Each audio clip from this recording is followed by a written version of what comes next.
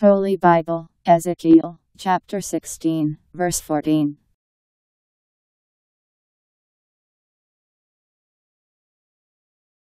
You were so beautiful that the story of you went out into all nations. You were completely beautiful because of my glory which I had put on you, says the Lord.